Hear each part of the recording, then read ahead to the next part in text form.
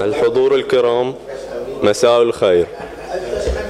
نرحب بكم اليوم في ملتقى التقدمية الأسبوعي الذي نسلط فيه الضوء على دور الإعلام وتأثيره في مسيرة الوحدة الوطنية.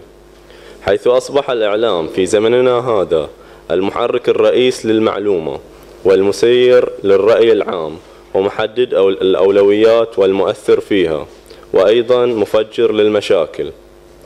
ويبقى سؤال ندوتنا لهذه الليلة عن تأثيره على مسيرة الوحدة الوطنية. فهل كان دوره سلبيا أم إيجابيا؟ يجيب على أسئلتنا في هذه الأمسية الصحفية ريم خليفة الكاتبة بصحيفة الوسط ومراسلة وكالة أسوسييتد بريس فلتتفضل. آه، بداية آه، أشكر المنبر التقدمي على استضافتي وطرح هذا الموضوع الهام. طبعا يعني أنا من وجهة نظري أرى أن هناك كثير من التغييرات اللي حدثت في خطاب الوحدة الوطنية بالنسبة للإعلام المحلي عندنا في البحرين.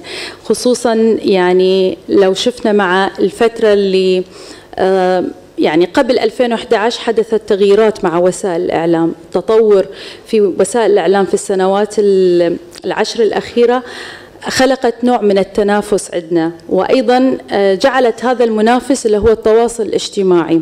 التواصل الاجتماعي قاد إلى أنه هو ينشر المعلومة بشكل سريع. ونشر المعلومة هاي آه، كان كثير منها آه، يا هو يكون دقيق أو غير دقيق بس هو في النهاية أصبح منافس للإعلام. آه، لو قارنا هذا إلى ما يحدث لوضعنا الحالي في البحرين أنا أرى أن هذه النوعية من المعلومة من بعد أحداث 2011 بدأت تستخدم كنوع من التحشيد في آه، شبكات التواصل الاجتماعي بمختلف أنواعها. أيضا آه، بدت خطابات أخرى تحل محل خطاب الوحدة الوطنية اللي هي خطابات الكراهية. في الصحافة المحلية وفي الإعلام وحتى في بعض منابر خطب صلاة يوم الجمعة. آه ولم يصل هذا الأمر فقط على المستوى المحلي بل أيضا آه انتقل على المستوى العربي والعالمي. أن إحنا بدينا نشوف تنظيمات آه إرهابية تتلذذ بنشر خطابات كراهية سواء بالقتل قتل البشر بالتعذيب إلى آخره.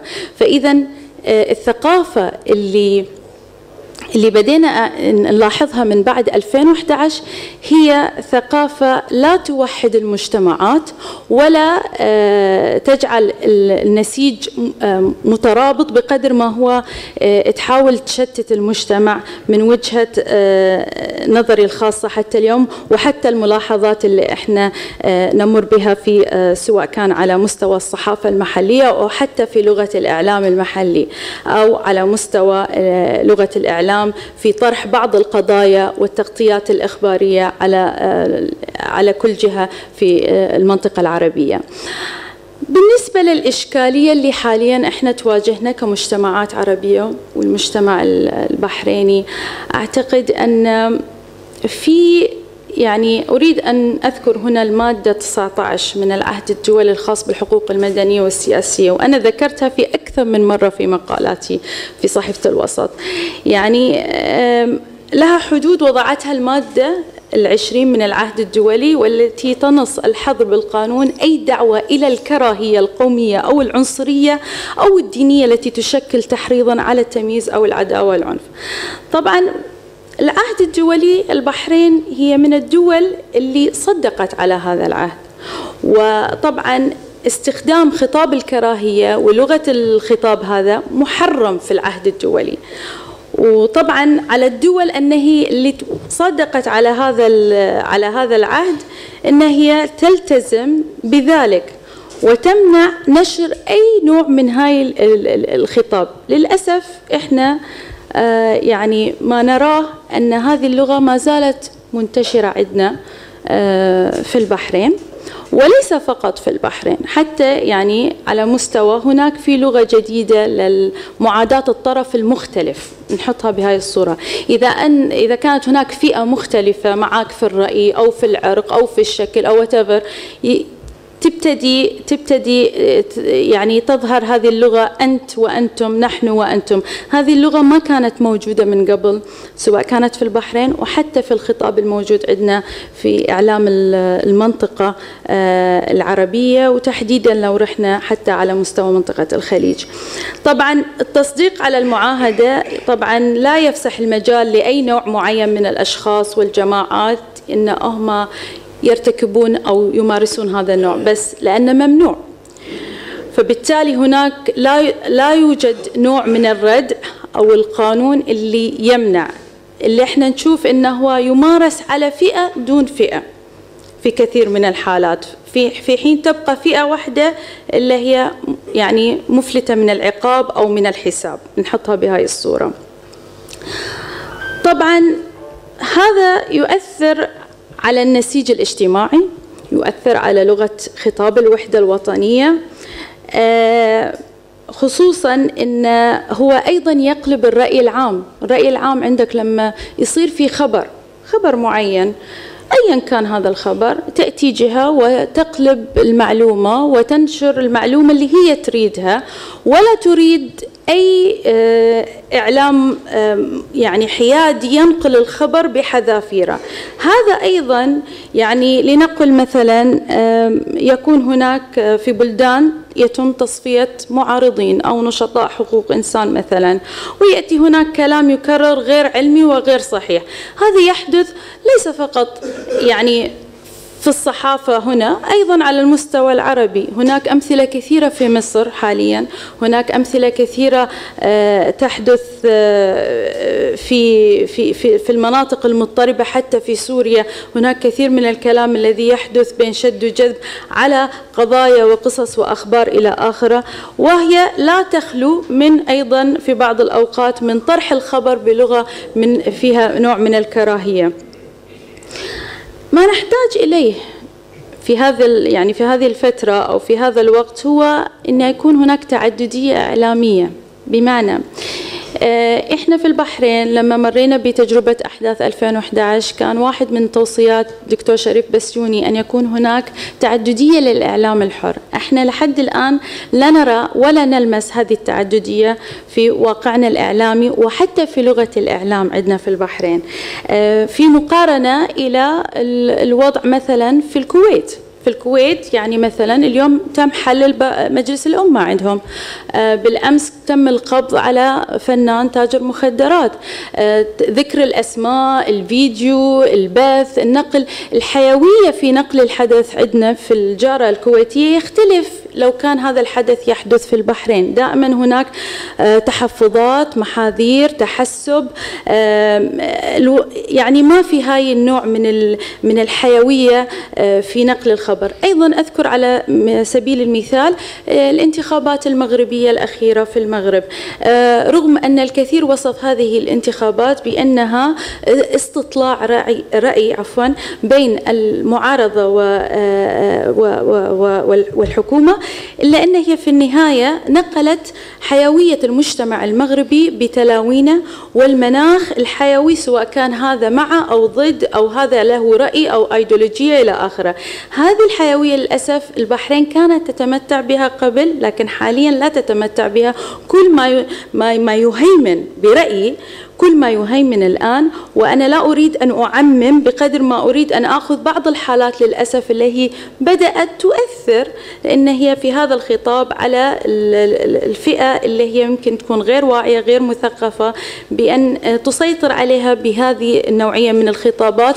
وفئة الشباب مثل ما هم تأثروا بالخطابات التنظيمات المتطرفة أيضا في منهم يتأثرون بهذه اللغة التي دائما تحرض على الفئة الأخرى آه، في المجتمع.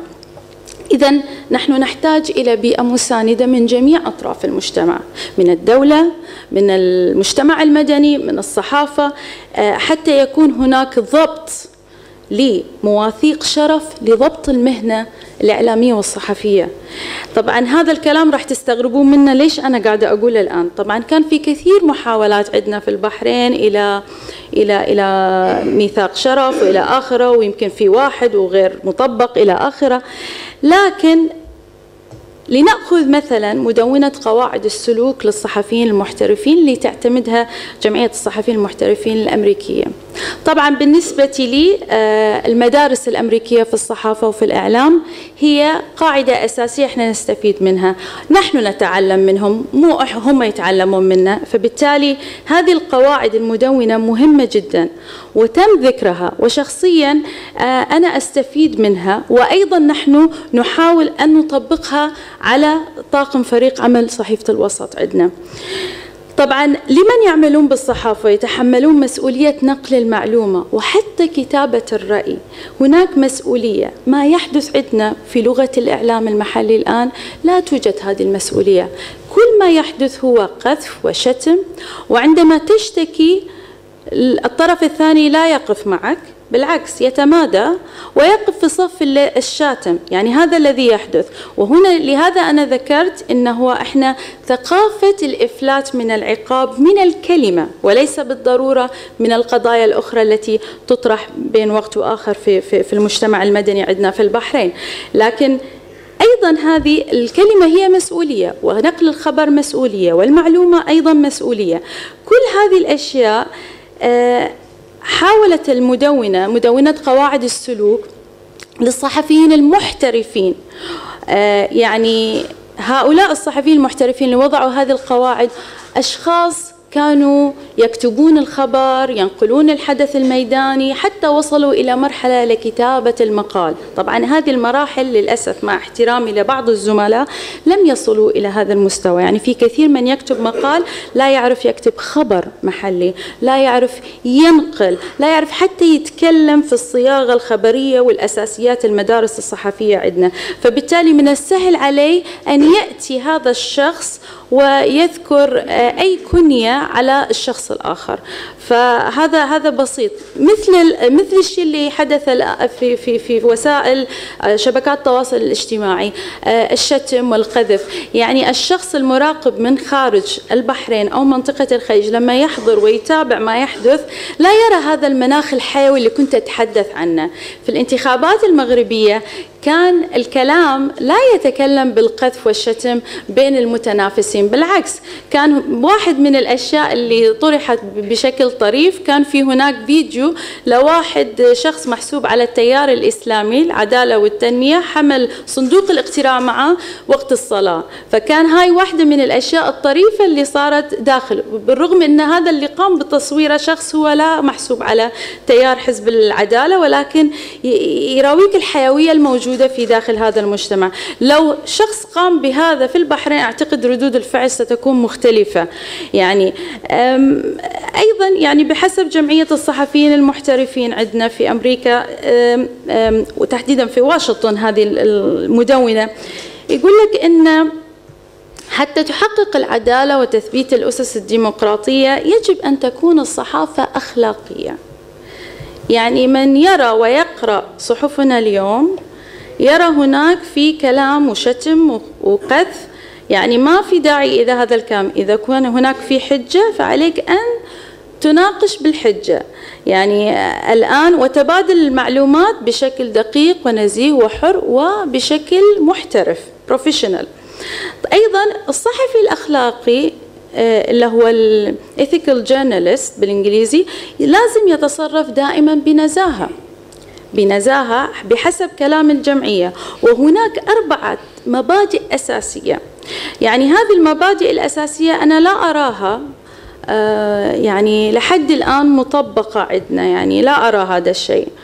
ويعني إذا أحد بيناقشني في هذا الموضوع أنا ما عندي مانع بس أنا لا أرى هذا الشيء موجود لأن آه، هناك صعوبة جدا آه، عندما نعمل أي موضوع في نقلة وفي وفي طرحة لازم يكون هناك خطوط حمراء دائما. وليس بالضرورة أن تكون هذه الخطوط الحمراء خطوط لها آه، سياسية أو تتعلق بالدولة أو تتعلق بعض الأوقات بالدين بالمذهب بالمجتمع. فهناك هناك خطوط حمراء كثيرة يعني يواجهها الصحفي عندنا في مجتمعاتنا سواء كان في البحرين أو في الخليج يعني مثلا المبادئ اللي تكلمت عنها مثلا الجمعية واللي أتمنى أن تكون عندنا يعني اللي هي ضرورة تقصي الحقائق، كتابة التقارير عنها، تقليل الضرر، التصرف بشكل مستقل والعمل بمسؤولية وشفافية.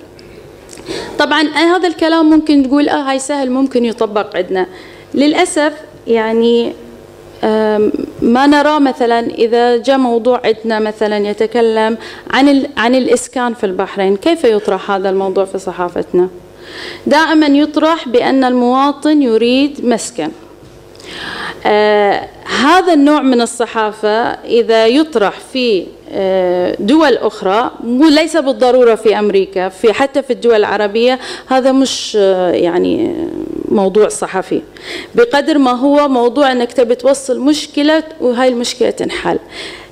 لما تطرح صحافة استقصائية لماذا هناك مشكلة سكن ولماذا المواطن يطالب الدولة بالسكن في البحرين؟ إذا هنا هذا العمل الصحفي. عندما تعمل تقرير متكامل وتحليل متكامل وريبورتاج متكامل حتى تصل إلى نتيجة لماذا وصل المواطن إلى هذا الوضع أنه يحتاج إلى سكن؟ على سبيل المثال.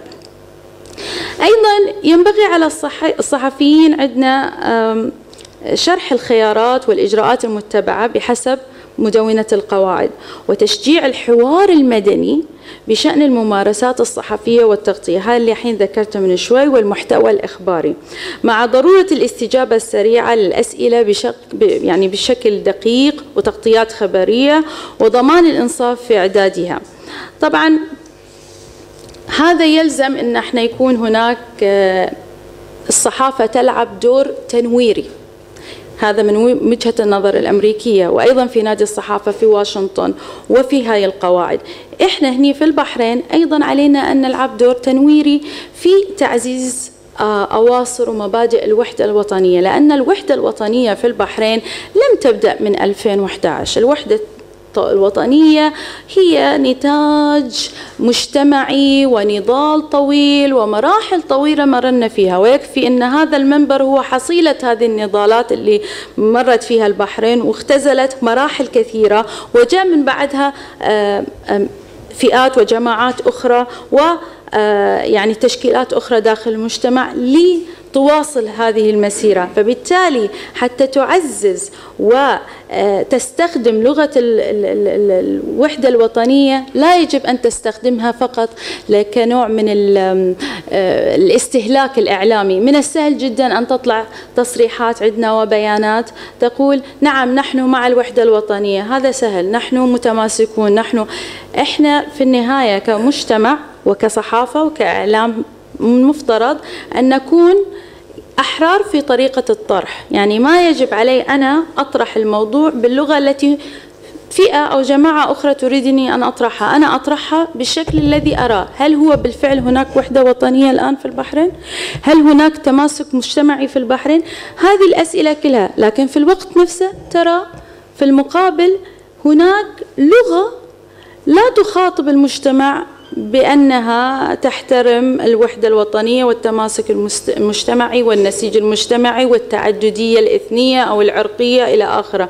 بل تأتي وتعتدي على الآخر دون أي عذر يعني وتستمر في ذلك. هاي المشكلة اللي عندنا الآن صارت في لغة الإعلام. يعني صار عندنا أيضا لغتين في الإعلام. وأنا في طريقي إلى المنبر كنت أستمع إلى إذاعة محلية. طبعا إحنا عندنا إذاعة فقط واحدة اللي هي الرسمية. كان هناك كلام جدا مبتذل في, في الإذاعة مع احترامي للأشخاص. هذه اللغة هي اللي مستمرة عندنا. إحنا لا نريد إعلام مبتذل ولا نريد أيضا إعلام يتكلم بطريقة أيضا يعادي الطرف الآخر فيه. نريد إعلام حيوي يتكلم عن تلاوين المجتمع عندنا التي تعكس الموزاييك المجتمع البحريني. وهاي ما أعتقد أنها هي صعبة. وأيضا هناك ضرورة وحاجة الآن في البحرين بعد مرور خمس سنوات على أحداث 2011 أن إحنا لمناصرة المادة 19 من العهد الدولي الخاص بالحقوق المدنية والسياسية وتفعيل مادة 20 من العهد ذاته بصفة إلزامية.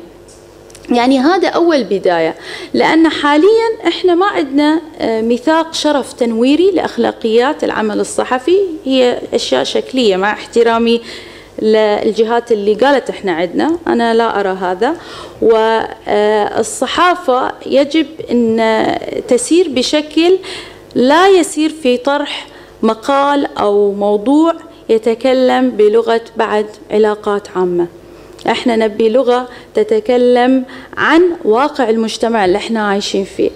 وأذكر هنا قبل آه، ثلاثة أعوام عندما كنت في بون في ألمانيا آه، تسنى لي أن أحضر يعني ندوة قصيرة كانت ليست طويلة لأستاذ علم اللسانيات والفيلسوف الأمريكي نعوم تشاموسكي وأيضا التقيت به شخصيا وسألته كان يتكلم عن خطر وضع القوانين التي تتعلق بمكافحة الإرهاب في البلدان العالم. طبعا لم يتطرق فقط عن الإرهاب ولكنه أيضا تطرق على أثر وخطر وضع هذه القوانين بشكل عام التي تقيد من حرية التعبير وغيرها من الحقوق.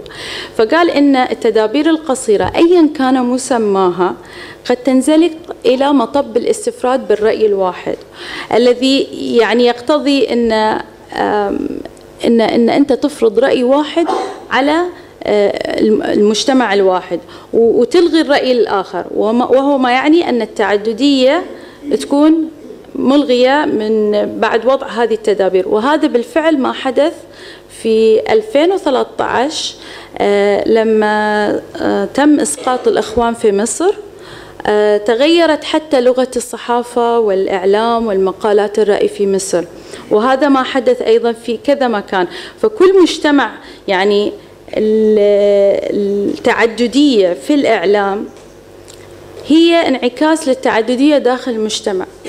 فلما نطرح مثال المغرب وما حصل مثلا رغم أن المغرب فيه سلبيات وإيجابيات لكن أيضا ما حدث عكس هذه التعددية والتلاوين في الطرح. في مصر الآن نجد اللغة تغيرت. في البحرين نجد أن اللغة يعني في محاذير ما زالت في لغة تحذر وفي لغة آه، تشتم وفي لغة آه، فقط مجرد بيانات ومعلومات علاقات عامة أو آه، قرارات معينة يجب أن تتم. بالتالي لا يوجد هناك الصحافة التي تؤسس إلى موضوع اللي هو التماسك المجتمعي أو الوحدة الوطنية. وطبعا طالما إحنا لا يوجد هناك إعلام حر وتعددية واحترام آه، لنقل آه، أي رأي من من الآراء في المجتمع بسلاسة بحيث أنه ما يعتدي على الرأي الآخر. فبالتالي إحنا بالفعل عندنا مشكلة في البحرين. وأعتقد أنه مثل ما ذكرت أنه لازم إحنا نبدأ إذا بنحل أي شيء في البداية ونريد أن نناصر موضوع آه، تأثير الإعلام على الوحدة الوطنية في البحرين لنبدأ بداية لتعزيز ذلك في مناصرة المادة 19 من العهد الدولي الخاص للحقوق المدنية والسياسية.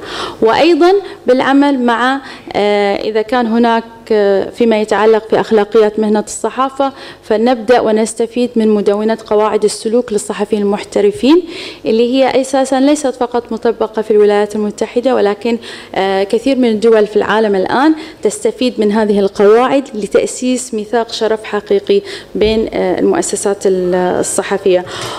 أنا راح أتوقف عند هذا الحد وإذا كان في هناك أسئلة أخرى وتفاصيل أخرى أنا على أتم الاستعداد أني أتكلم فيها.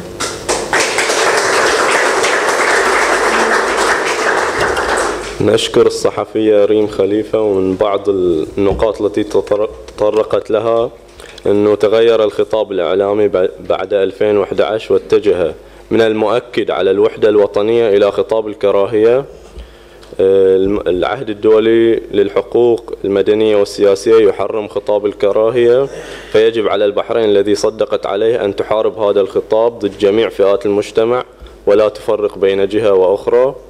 نحتاج لتعددية إعلامية وهي إحدى توصيات بسيوني وقارنت بين الحيوية في نقل الخبر بين بعض الدول العربية والبحرين. أما الآن مع الرفيق حسين العريبي وهو إعلامي للتو أنجز الماجستير في الإعلام والعلاقات العامة وقدم دراسة في اتجاهات مقالات الرأي في الصحافة البحرينية وعلاقتها بمسار الوحدة الوطنية خلال الأزمات. فلتتفضل. مساء الخير. آه، في البداية يعني أشكر حضوركم أولا وأشكر الأستاذ ريم على ما تفضلت به. ورفيقي أحمد طبعا قدمني بشكل يعني ربما يكون أكبر من العرض المتواضع اللي أنا قد راح أقدمه خلال هذه الندوة. الحقيقة لما الواحد يكون عنده صفحات واجد وإحصائيات وأرقام فيعني يتوه في اقتطاع ما يناسب منها فأحيانا يضطر إنه يتخلى عنها كلها ربما.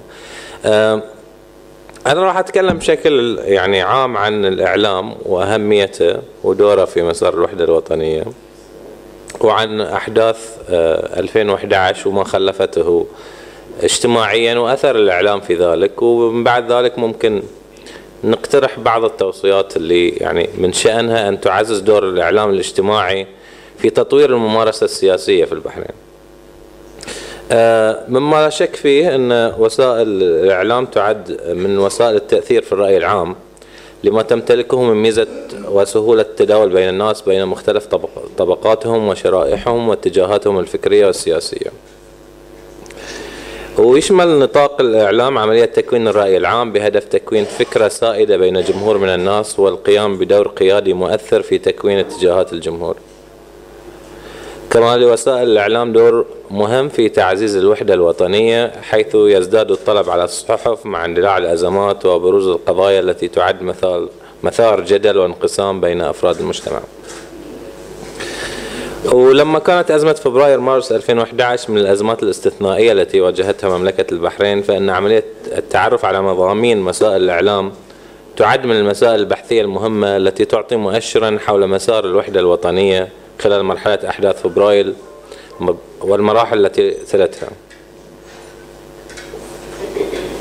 آه، إذا تسمحوا لي في البداية طبعا وأنتم يعني آه، لا يخفى عليكم أن الإعلام ينقسم إلى قسمين. إعلام يعني أو تصنيفين للإعلام. هناك الإعلام التقليدي اللي هو يشمل الإعلام المرئي التلفزيون والإعلام المسموع مثل الراديو والإعلام المقروء الصحافة. وهناك الإعلام الاجتماعي اللي هو يمتاز بفضاء أوسع من الحرية وأصبح الآن يعني نطاقه في التداول أوسع وأشمل خصوصا بين فئات الشباب في المجتمع. آه، أنواع طبعا وسائل الإعلام الاجتماعي معروفة يعني هي اهم أهم ما يميزها في حقيقة الأمر إنها هي تفاعلية. إنه لم يعد هناك مؤسسة إعلامية هي التي تفرض ما الذي ينشر وما الذي لا ينشر ولكن أصبح الجمهور المستهلك لهذه الوسائل هو أيضا محرر لمحتوى هذه الوسائل الإعلامية. وبالتالي نطاق الرقابة بدأ يعني يتذبذب شيئا فشيئا وأصبحت المعلومة تنتشر بشكل مباشر وحيوي آه، ويعني وخارج نطاق الرقابة إلى حد كبير. آه، إذا بنتكلم عن أدوار وسائل الإعلام هناك أدوار كثيرة وتعريفات كثيرة لأدوار وسائل الإعلام. منها آه، أن تكون أداة تساعد في تكامل الدولة وترابط وحدتها وتقريب الفجوة بين حكامها وجماهيرها ونشر المعايير والنماذج العقلانية بين عناصر وقطاعات ومؤسسات المجتمع. كما تلعب وسائل الإعلام العديد من الأدوار منها استطلاع ومراقبة البيئة أي مراقبة البيئة ورصد المخاطر التي تهدد المجتمع. ونقل المعلومات لمحاولة خلق حالة واسعة من الفهم بين أفراد المجتمع. والوظيفة الإخبارية اللي هي مد الجمهور بالأخبار. ووظيفة توثيق الأحداث يعني الأحداث التي تنشر يوميا في وسائل الإعلام خصوصا الصحافة تعد وثيقة بعد فترة من الزمن يرجع إليها في تقييم هذه الأحداث وفي يعني رصدها. آه، وظيفة الشرح والتفسير والتحليل. من حيث تقديم المعلومات والبيانات وتحليل الأحداث وتقديم الشرح والتفسير والخلفيات التاريخية للحدث. وأيضا وظيفة تكوين الرأي العام التي أشرنا إليها في البداية. بالإضافة إلى وظيفة مهمة جدا وهي وظيفة الرقابة أي حراسة المجتمع من إساءة استخدام السلطة عبر الرقابة والتوجيه. ومن هنا جاءت تسمية السلطة الرابعة.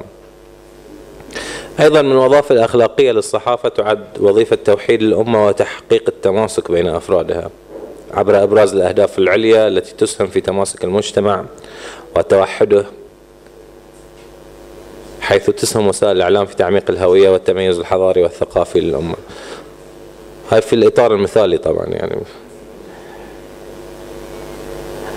آه لكن يعني عندما يتم الحديث عن وسائل الإعلام لابد هنا أن نقف عند آه يعني شيء أساسي في تقييم وسائل الإعلام. وهو أن وسائل الإعلام التقليدية منها آه والمرئية والمسموعة تحديدا هي حكر في يد الدولة. يعني اليوم ما في تعددية إعلامية مثل ما أشارت الأستاذ ريم خليفة ولا يوجد قانون أيضا يسمح ب يعني إنشاء مثلا تلفزيونات مستقلة أو إذاعات مستقلة.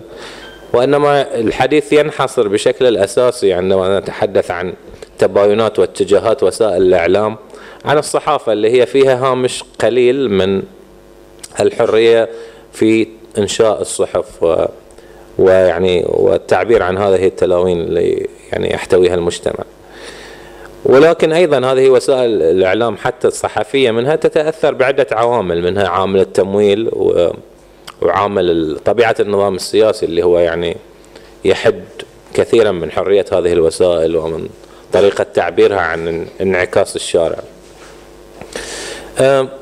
لكن من الحديث عن الصحافة في مملكة البحرين يعني لابد أن نشير إلى بعض المراحل التاريخية اللي يمكن أيضا أغلبكم يعرفها بس ننتويها بشكل سريع. الصحافة طبعا في البحرين نشأت في سنة 1900 في الثلاثينيات القرن الماضي 38 إذا ما كنت غلطان. وخلال تلك الفترة لعبت الصحافة أدوار في مواجهة ال ال ال يعني ال السلطة في ذاك الوقت اللي هي كانت سلطة استعمارية. وهي ما أدى أنه ما يكون في تواصل واستمرارية في هذه الوسائل نتيجة إلى أن هي كانت تواجه وتجابه من قبل السلطات في في ذلك الوقت وما أدى إلى حلها. يعني كل ما تؤسس صحيفة تواجه بالحل نتيجة إلى طبيعة النظام السياسي وعدم سماحة بالمواضيع التي كانت تطرحها تلك الوسائل ومنها موضوع الاستقلال موضوع الانتماء للمحيط العربي والموضوع الحقوق والعدالة والمساواة في المجتمع اللي أصبحت تتضارب مع مصالح السلطة الاستعمارية والسلطة المحلية التابعة لها بطبيعة الحال. هذا فيما يتعلق من قبل الاستقلال وهو ما أدى إلى تقريبا يعني من من الثلاثينات إلى السبعينات إلى توقف 15 صحيفة لأسباب سياسية.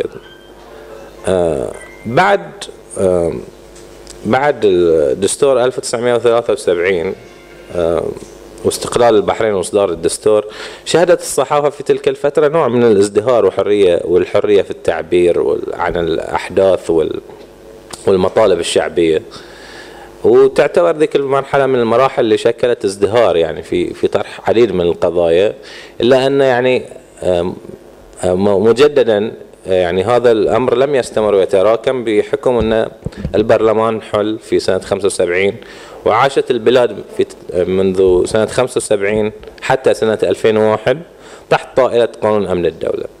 لما تأسست صحيفة أخبار الخليج في البحرين تأسست وفق شروط هذا هذا هذا النظام السياسي وهذا هذه المرحلة السياسية فأصبحت لا تمثل المراحل التي سبقتها كمرحلة السبعينات أو حتى مرحلة الثلاثينات للخمسينيات اللي هي شهدت أيضا حراك سياسي عبرت عنه بحيوية وسائل الإعلام.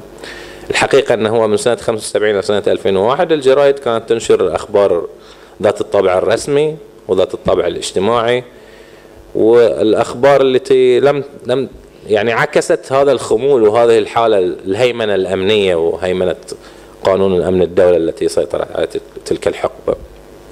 وبالتالي لم يكن هناك نقاش لا في نسيج اجتماعي ولا في وحدة وطنية ولا في تعددية سياسية ولا في حقوق ولا يعني كل المواضيع الأساسية التي تميز أي مجتمع حيوي كانت غائبة عن الصحافة. لما صدر الميثاق في سنة 2001 طبعا يعني رجعت الحيوية للصحافة ووسائل الإعلام بشكل عام في البحرين. خصوصا أن الميثاق نص على لكل مواطن حق التعبير عن رأيه بالقول أو بالكتابة أو بأي طريقة أخرى من طرق التعبير عن الرأي والإبداع الشخصي. وبمقتضى هذا المبدأ فإن حرية البحث العلمي وحرية النشر والصحافة والطباعة مكفولة في الحدود التي يبينها القانون. إحنا مصيبتنا في الحدود التي يبينها القانون.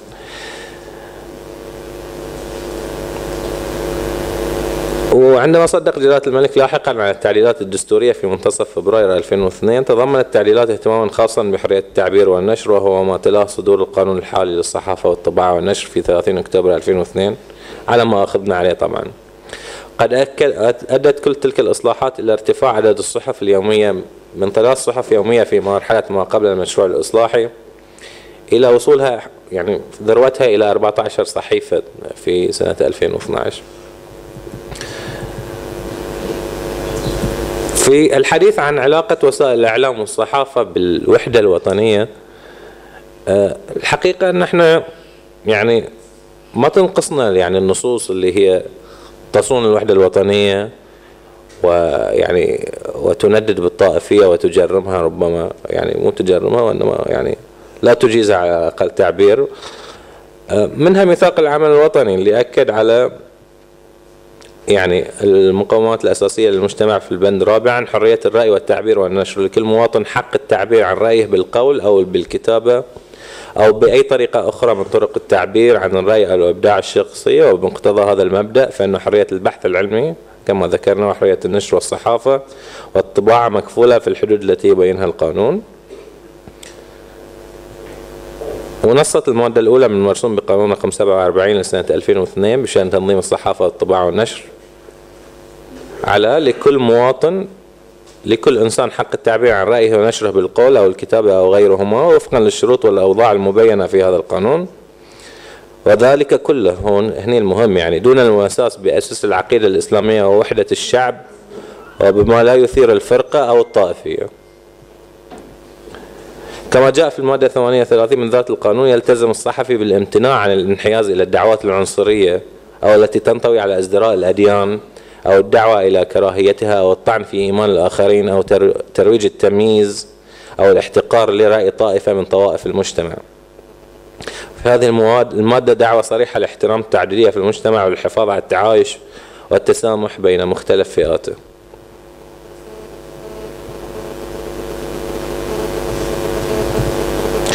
وجاء في أيضا في المادة 69 بشأن العقوبات. إنه مع عدم الإخلال بأي عقوبة أشد ينص عليها قانون العقوبات أو أي قانون آخر يعاقب بغرامة لا تزيد لا تزيد عن على ألفي دينار على نشر ما من شأنه التحريض على بغض طائفة أو طوائف من الناس أو على الازدراء بها أو التحريض الذي يؤدي إلى تكدير الأمن العام أو بث روح الشقاق في المجتمع على الأساس بالوحدة الوطنية. حتى ميثاق الشرف الصحفي الصادر سنة 2002 فيما يتعلق بالالتزامات الواجبة على الصحفيين والمؤسسات الصحفية آه، نص على الامتناع عن الانحياز الانحياز إلى الدعوات العنصرية أو التي تنطوي على ازدراء الأديان أو كراهيتها ومقتبس من غالبا من الدستور الميثاق أو أو أو التي تروج للتمييز أو الاحتقار لرأي أو معتقد طائفة من طوائف المجتمع. يعني هذه جانب من من من النصوص القانونية ومن المواثيق اللي هي جرمت التمييز وجرمت الدعوة إلى الكراهية والطائفية في من خلال وسائل الإعلام.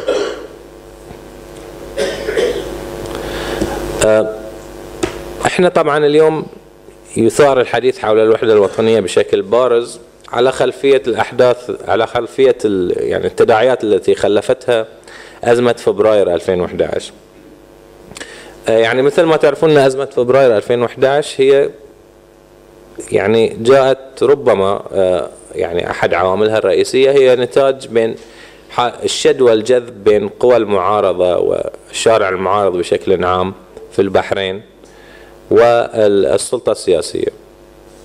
وهذا يعني تركز بشكل رئيسي آه، بناء على الدستور الصادر في سنة 2002 والذي خلف معارضة واسعة على اعتبار أنه يعني لم يحصر صلاحيات التشريع في المجلس المنتخب وإنما حدد نظام غرفتين وهو ما أدى إلى طبعا أول يعني أول أول أول ضربة يعني توجه إلى ميثاق العمل الوطني.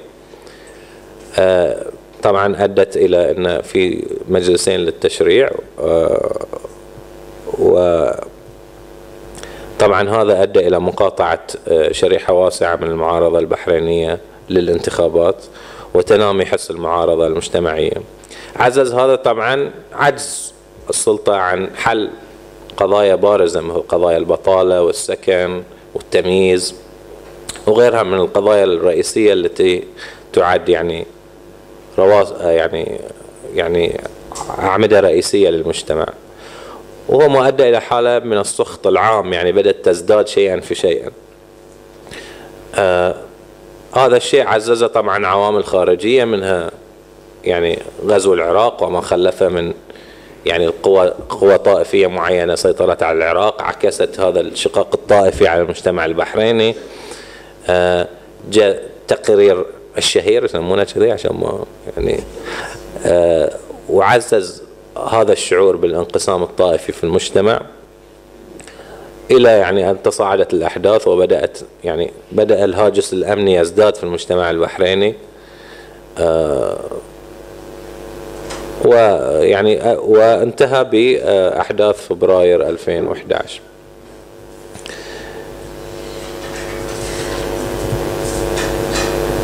طبعا هني يأتي دور الحديث عن وسائل الإعلام في الأزمة السياسية التي يعني ظهرت في سنة 2011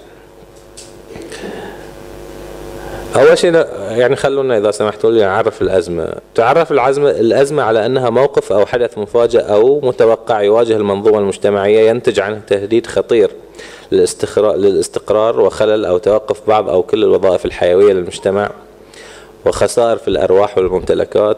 يصاحبه تداعٍ وتصاعد في الأحداث والأعمال المكونة له بشكل سريع مما ينشط عناصر عدم الاستقرار في النظام في ظل ضيق الوقت وقلة الإمكانيات ونقص المعلومات.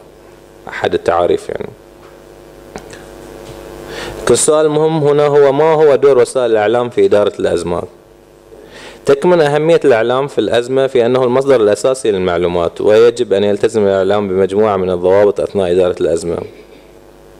منها الدقة في عرض الحقائق بموضوعية دون تهويل أو تهوين. وذلك لما للإعلام تأثيرات خطيرة وكاملة ذات أبعاد ومضامين متعددة وتأثيرات متباينة. وهي في الوقت نفسه أحد العوامل الرئيسية وأداة من أدوات إدارة الأزمة. إحنا طبعا كلنا شفنا إن شلون عمل الاعلام الرسمي والتابع له بصورة سيئة على إثارة الإحساس بالخطر الجمعي في المجتمع خلال فترة الأزمة والفترة التي تليها. تعزيز النعرات الطائفية وربط التحركات الجماهيرية بالأجندات الخارجية. ونشر حالة التهويل والخوف في أوساط الجمهور بشكل ممنهج مما أدى إلى تعميق الشرخ بين أفراد المجتمع. هذا الدور يعني لم يكن خلال فترة الأزمة فقط وإنما و ومن بعدها يعني فترة السلامة الوطنية لكن هذا الدور استمر ربما لهذا اليوم. آه كما استخدم التلفزيون الرسمي كوسيلة لمحاكمة المعارضين والنشطاء والتحريض عليهم ونشر اعترافات متلفزة من أقبية السجون تبين لاحقا أنها انتزعت آه، إثر التعذيب. كما لعبت الصحف الموجهة دورا لا يقل سوءا عبر الطعن في وطنية المعارضين وازدراء معتقداتهم والطعن في شرفهم وتصويرهم أنهم لا لا يمتون بصلة الوطن وثقافته وثوابته. يعني إذا فتحنا أي جريدة من الجرايد في تلك الفترة حتى عقبها يمكن بسنتين ما أعرف إذا اليوم لحد اليوم هذه التعبيرات منتشرة. بنلاقي يعني عبارات أنا يعني طبعا لم أشر إلى أي يعني من التفاصيل التفصيلية اللي موجودة في رسالة الماجستير لكن من خلال اطلاعي على مجموعة من المقالات يعني رصدت بعض المفردات اللي هي على شاكلة أبناء المتعة أذناب إيران المجوس. ودائما كان في ربط بين هذه كلها هالأوصاف اللي هي يعني تطعن في شرف الناس وفي معتقداتهم وتربطها بالتهديد الخارجي اللي هو يتمثل طبعا في في إيران. وهذا الشيء لم يكن يعني ينشر في مقال أو مقالين إنما يعني أنت تفتح مثلا صفحة رأي في صحيفة من الصحف ترى سبع ثمان مقالات بشكل يومي تنشر هذا النوع من المقالات وهذا النوع من المواضيع على مدى سنوات. فلك أن تتخيل ولك أن تتخيلي طبعا نوع نوع ال ال يعني الصورة الذهنية التي تتكون لدى الجمهور نتيجة لهذه السياسة التحريرية. هني يمكن يعني تكمن الغاية في تعزيز آه، الإعلام الاجتماعي في تطوير الممارسات السياسية. اليوم الإعلام الاجتماعي يعتبر من الوسائل الهامة جدا يعني والمؤثرة آه، في تطوير الممارسات السياسية، هناك العديد من الدراسات التي تناولت هذا الموضوع تحديدا في الغرب وفي العالم العربي. آه، كما ذكرت أن وسائل الإعلام الاجتماعي هي يعني تمتاز بعدة يعني مميزات. أهمها أن يعني الهامش الرقابة عليها يضيق. تدريجيا بفعل الفضاء المفتوح الإلكتروني. تداولها اللحظي آه، قدرة الأفراد على آه، على تحرير وإضافة الصورة والخبر والفيديو بشكل مباشر مرة ثانية. وتفاعل الجمهور مع هذا أيضا. يعني أنت تنشر وتستقبل الملاحظات وهناك من يطور النص ويضيف عليه. آه، وهذا يعني شكل فضاء حر وواسع للإعلام البديل اللي هو يعني يشكل في مجتمعاتنا اللي هي لا تتمتع بقدر واسع من الديمقراطية بديل فعال آه، لترويج آه، يعني خلينا نقول المضامين التنويرية كما أشارت الأستاذ ريم خليفة. من ضمنها موضوع الوحدة الوطنية. طبعا إحنا لما نتحدث عن موضوع الوحدة الوطنية مو نتحدث عن الناس انه لازم تحب بعض وتنسى كل المشاكل والخلافات اللي بينها. ولكن الحديث عن الوحدة الوطنية ينطوي عن الحديث على المشاكل والمعوقات التي تعرقل تحقيق الوحدة الوطنية من ضمنها غياب العدالة الاجتماعية التفاوت الطبقي الديمقراطية حقوق الإنسان وأيضا التأكيد على الجانب الإنساني فيما يتعلق بالوحدة الوطنية اللي هي الترابط الاجتماعي والقيم المشتركة والعادات والتقاليد المشتركة والتزاوج والتعايش كل هذه الأمور.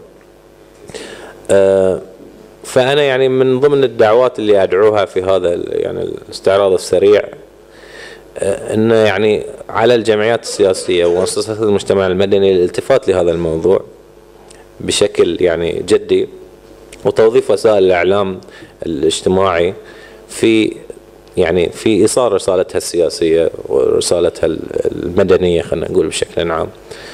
آه وهذا يعني يحتاج أن يعني لا ينفصل الواقع السياسي على الأرض بالواقع الافتراضي بمعنى أن إحنا لا يكفي أن يكون كل النشاط هو نشاط مركز على وسائل التواصل الاجتماعي بل يجب أن يرتبط هذا بفعل سياسي على الأرض يكمل هذا اللي يعني يمزج الواقع الافتراضي بالواقع اليومي المعاش. لعل من التوصيات اللي يعني اللي ممكن أن يعني نقترحها في هذا الشأن غير الاهتمام بوسائل التواصل الاجتماعي كأداة تأثير واسعة الانتشار. أهمية توجيه إدارات التحرير في الصحف لتخصيص مساحات أكبر من المواضيع الصحفية بأشكالها المختلفة لتعزيز ثقافة الحوار والقبول والتعايش والتسامح وأهمية الوحدة الوطنية. كما أهمية توافر قدر من المهنية والحرفية لدى المحررين بما يراعي الالتزام بأخلاقيات العمل الصحفي. وتشجيع إدارات الصحف لنشر المواضيع التخصصية المبنية على الأساليب العلمية في التحليل والنقد خاصة في صفحات الرأي. إنشاء مرصد صحفي مستقل يتولى إصدار دليل مهني يضع فاصلا بين حرية التعبير التي تكفلها الحرية الصحفية والمضامين الصحفية التي تتجاوز حرية التعبير لتصل إلى خطاب الكراهية. كما رصد المضامين الصحفية المحرضة على الكراهية والمحفزة للنعرات الطائفية ونشر تقارير دورية في هذا الخصوص تعرض للرأي العام والمجتمع البحثي على حد سواء. شكرا لكم.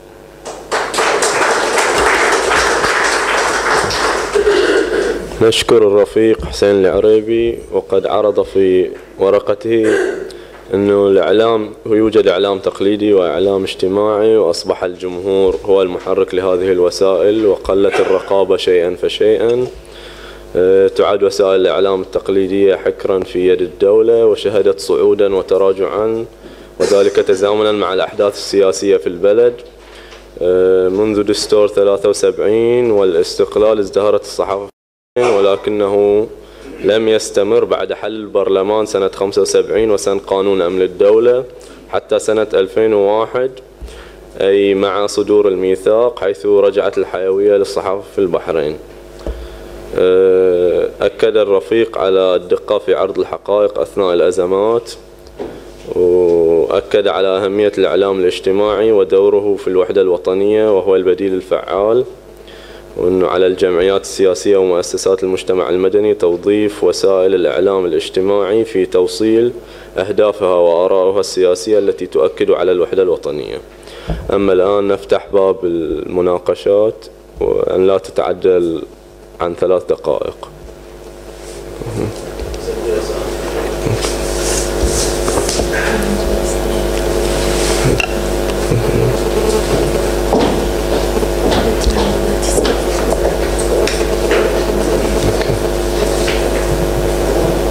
مساء الخير.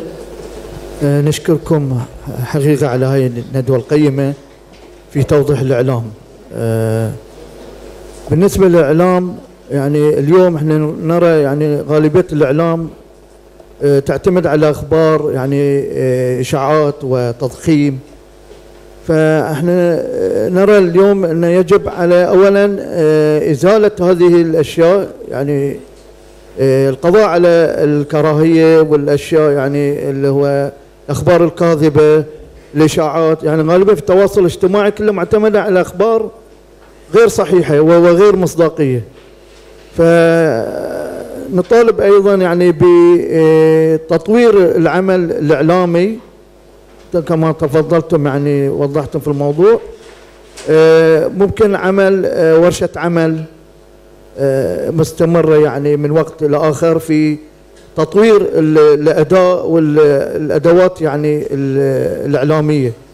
هاي النقطة الأولى. والنقطة الثانية مثل ما وضحت أيضا يجب أن يكون هناك ترسيخ للوحدة الوطنية من جانب آه، إصدار يعني له زي ما تفضلت آه، موقع بحيث أنه يستطيع الشخص يعني أو يبدي برأيه لكن يكون هناك رأيا آه، يعني آه، يعني بعيد عن الاحتقان الطائفي أو اللي هو آه، الكراهية ونبذ هذا شكرا جزيلا.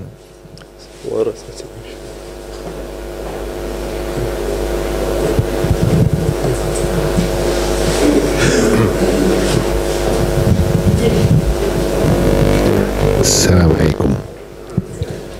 آه الأستاذ العريبي ويستبق طبعا آه ريم خليفة.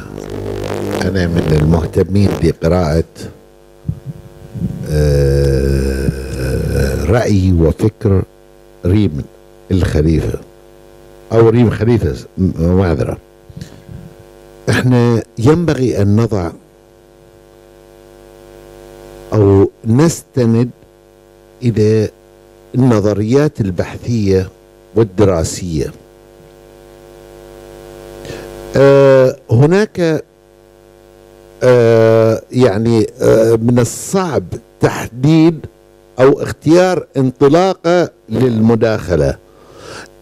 آه لو أخذنا آه على سبيل المثال الفلسفة الأزهرية. الفلسفة الأزهرية تذكر إنه رفع الملام عن أئمة الإعلام. إذا إحنا ما زلنا نتكلم عن تأثير الإعلام في المجتمع. اذا الفلسفة الأزهرية رفع الملام عن أئمة الاعلام طب طيب رقم اثنين عندما يصبح الإعلام مقيد ويصبح الإعلام موجه ويصبح الإعلام يخدم رجل واحد لا يخدم وطن ولا يخدم الشعب ولا يخدم بيئة حاضنة. آه، إيه، مداخلتي أنا أتحدث عن آه، ال ال ال الأبحاث العلمية في وصف قاضي قاضي القانون. وأتمنى أن الرسالة تكون واضحة. قاضي القانون كما هو قاضي الرأي. لما حد يسألني شنو تقصد أنت بقاضي الرأي وقاضي القانون أسند القول إلى من خرجت امرأة امرأة خرجت في 2011 ألا وهي سوسن الشاعر وسألت المجتمع البحريني علنا أين أنتم يا أيها الوزراء؟ وأين أنتم أيها السلطة التشريعية؟ وأين أنتم يا رجالات البلد؟ تفضلوا الصالة مفتوحة. وأناشدكم أن تحضروا آه البرنامج الإعلامي المعلن. لا نتعامل بلغة الظلام ولا نتعامل مع الرأي في الظلام. نحن نتحدث في الضوء. إذا سوسن الشعر طالبت أين أنتم؟ 120 وزير 40 شوري و40 نائب و40 وزير؟ لا أحد شارك وأبدى رأيا في برنامج سوسن الشاعر. إذا ريم ريم خليفة نوهت وعرجت على هذا الجانب. اذا إحنا ما عندنا رجالات في البلد تستطيع مواجهة الإعلام ومواجهة قاضي الرأي. اذا آه اسمح لي بس لا أريد الإطالة. اذا سوسن الشاعر كقاضيه وح و و و و متمسكة بقاضي الرأي. أين أنتم؟ إذا هي أصدرت أحكام أنه لا يوجد عندنا من الوزراء والنواب والشورى ورجالات البحرين أن يحضر ويواجه أزمة 2011 مشكور يا أخوي. الرفيق علاء مرحبا مساء الخير. الإعلام اليوم هو أكبر مؤثر على المجتمع الحديث وخصوصا بعد تطور التكنولوجيا. فهو يؤثر على مستقبل المجتمع بفكره كان بفكر سليم أو فكر مفخخ اللي قد يقر إلى نتائج سلبية في المستقبل بلا شك. الإعلام الرسمي اليوم كالجرائد والقنوات الفضائية المفخخة لا تؤثر إلا على المهتمين بها لكن لو نركز على الإعلام الرسمي لو تجد هناك أيضا خطابات متطرفة أو كراهية فتأثيرها لا يخترق جميع المجتمع. فاليوم من يتابع التلفاز أصلا؟ هم أقلية فالتلفاز الجديد هو الهاتف الذكي. ولو اخترقت فهي فقط تؤثر على متابعينها والمهتمين بها مثل ما ذكرت وهم أقلية. الإعلام الذي يجب على المجتمع من أبوين وأسرة وأفراد الحذر منه هو الإعلام الغير رسمي في مواقع التواصل الاجتماعي من حساب من حسابات مؤدلجة تفخخ متابعينها من الجيل الحاضر على المجتمع هو الفكر السليم. فهي تحاول أن تنزلق بأفكارها في أذهان أفراد هذا الجيل وتثبت وجودها في المواقع التي يهتم في زيارتها الفرد في الإنترنت لتسهيل عملية الجذب والتفخيخ. لو نلاحظ أكثر فأن أغلب شبابنا اليوم يتفخخ تدريجيا وحتى لو التربية والبيئة لها دور عظيم في تأسيس الفرد لكن جيلنا اليوم لو يدقق فأنه في كل الأحوال قد يتفخخ وهذا يرجع إلى البث الوعي في المجتمع. فمجتمعنا للأسف لا يحث أفراده للقراءة والمبادرة في التعرف على الطوائف والأعراق في مجتمعه. فقصور وجود هذه الأعمدة الإيجابية يقتصر الفرد تفتحا تقبلا وإلى آخره. فأكثر الشعوب كرامة هي أكثرها قراءة وأقل الشعوب كرامة هي الشعوب المفخخة والشعوب المفخخة مستقبلها كما تعلمون مستقبل فاشل وسلبي. لو تم بث الوعي وتفتح المجتمع لا خوف من الجهات المفخخة. فهذا الدور فرض على كل فرد في المجتمع. والأخت المنتدية الأستاذة ريم خليفة أتمنى محاولة البث بث الوعي في صحافتكم. في مواقع التواصل الاجتماعي. فأنا أنتقد مسامح نوع الأخبار التي تتم بثها في جريدة الوسط في مواقع التواصل الاجتماعي مثل حوادث سيارات بسيطة وكيف تصطاد البلدية كلاب الضالة صور قطط متكررة إعلانات صور نمر ينظر إلى كاميرا. أتمنى تحسين نشاط جريدة الوسط الصحفية في مواقع التواصل الاجتماعي وشكرا.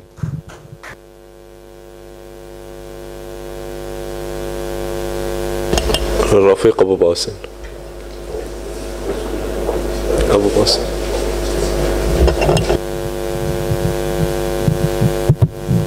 أنا أشكر ريم خليفة بنت الرفيق عبد الرحمن خليفة وأشكر الرفيق حسين والرفيق أحمد.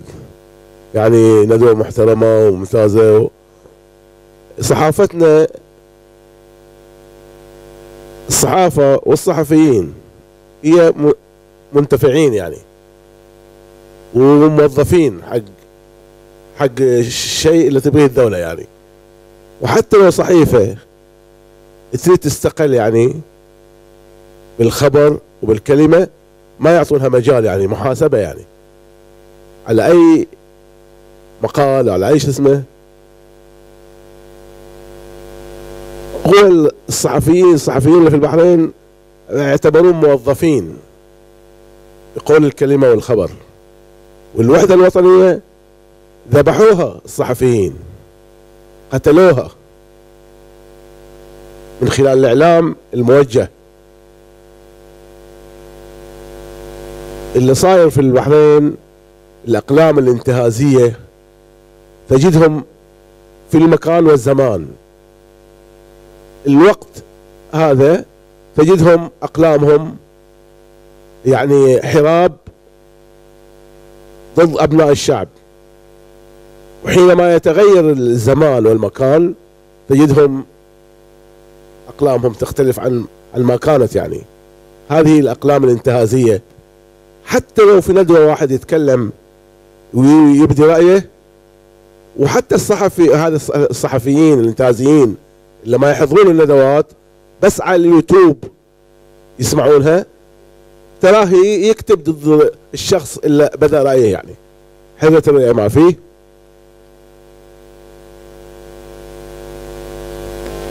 ما في حرية رأي وحتى التواصل الاجتماعي مراقب اللي يقول لك إن التواصل الاجتماعي عند الإنسان حرية فيه لا التواصل الاجتماعي ما في حرية.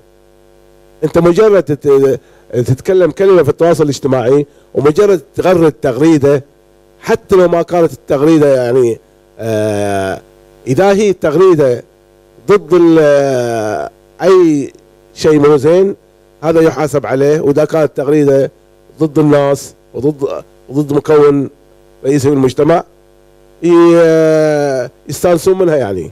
هاي اللي حادث في البحرين يعني. أقلام انتهازية صحافة منتفعة.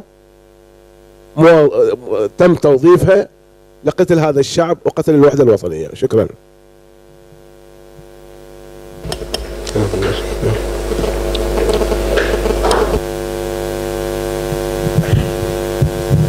شكرا الاستاذ ريم والأستاذ أبو علي. آه، ألو. آه، قبل أن أبدي ملاحظتين بس عندي تصحيح للأخ أستاذ حسين. حول ثورة 14 فبراير وأن نتاجها كان بسبب نتاجها كان بسبب الإحباط اللي عم عموم الناس وليس التجاذبات بين قوى المعارضة و آه، أو السلطة. يعني هي ليس المحور يمكن هذا يناقش في وقت آخر ولكن على أساس ندق يعني نوصف يعني التوصيف الصحيح أنه كان نتاج إحباط لدى عموم الناس وأن الثورة التي قام بها هي الناس وليس حتى بعض الجمعيات حتى يمكن يكون بعضهم الإسلامية ما كانوا متوقعين أن يكون هذا الحدث يعني.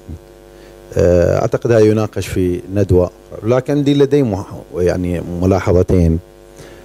آه، أنا لا أختلف حول ما يعني تفضلت بالأستاذة ريم والأستاذ حسين حول دور الإعلام وتأثيره في الوحدة الوطنية وهذا هو يعني إعداد كان جيد وممتاز ولا أعتقد يختلف أحد مع هذا الطرح سواء هنا أو حتى الجمعيات يعني بما فيهم الحقوقية والسياسية.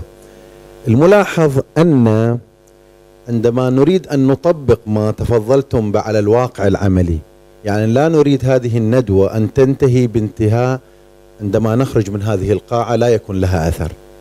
يعني كأنما قاعدين إحنا نسولف مع بعض يعني. يعني الآن أنتم يعني آه، صحفيين شرفاء جمعية شريفة آه، حضور من الشرفاء لا يختلفون معها. لكن دعونا خلينا نطبق. يعني لا خلينا الجانب الدولة أو جانب السلطة نتركها. الآن إحنا نتكلم عن كقوى وكنخب وكجمعيات. ما هو دورها في تعزيز هذه الوحدة الوطنية؟ في آه، الوقوف ضد من يريد أن يشطر المجتمع. نجد الطرف الآخر عندما يطرح أي موضوع تكون هناك مناصرة. رفع دعاوى في المحاكم وتكون هناك آه، يعني تحشيد في الصحافة الصفراء إلى أن يتم معاقبة هذا الشخص الذي أبدى رأيه بكل موضوعية.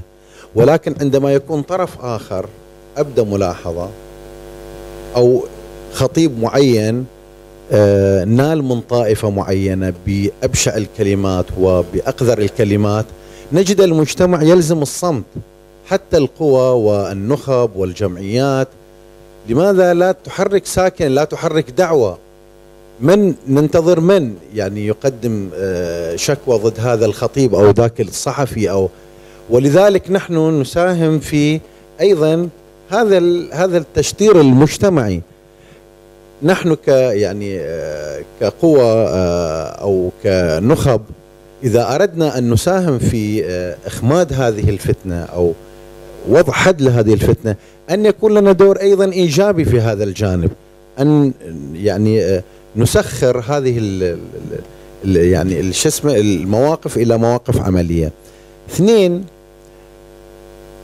هناك بعض المصطلحات التي يوظفها اللي هو الصحافة والإعلام أو الصحافة الصفراء أو حتى النظام ويمررها ونجد أن الصحفيين والمهنيين يتلقفون هذه المصطلحات يعني ويعممونها. طبعا الإعلام له دور كبير في التأثير على المجتمع.